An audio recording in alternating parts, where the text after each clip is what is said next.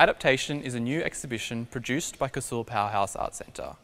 It highlights artists living with disability and chronic illness whose practice has evolved to facilitate bodily or psychological conditions.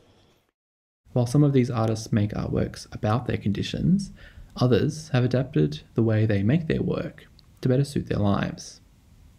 The exhibition features works by seven artists from across Australia, including Bruno Booth,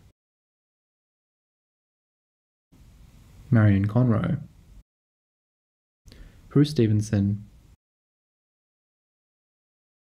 Louise Zhang, and local artist Nell Syme.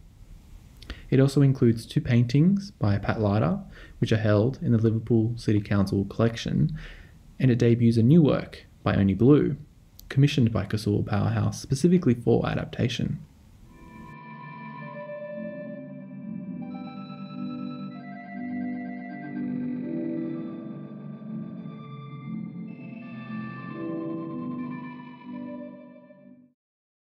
Adaptation launched just two days before Casula Powerhouse closed its doors to the public due to public health measures regarding the COVID 19 pandemic. For much of us, regular routine has completely fallen away.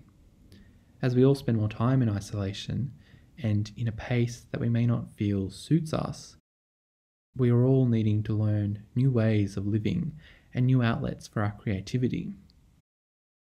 And so this exhibition is particularly relevant at this time because each of the artists are already masters of adaptation.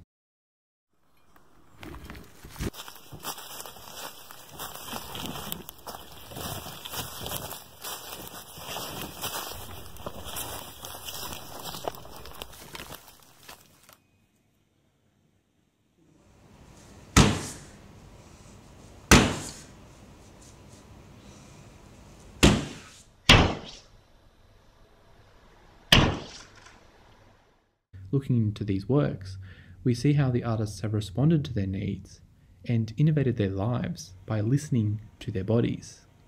But this exhibition is also an important reminder that for many people, the routines that they live by have taken a really long time to cultivate.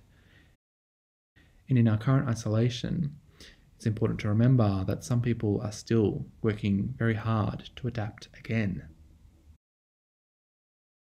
As a companion to this exhibition, Casula Powerhouse has worked with each of the artists to document and to share their stories so that their works are captured in their own words. For more information about the exhibition and to read about the artworks in the artist's own words, check out the catalogue by heading to our website www.casulapowerhouse.com.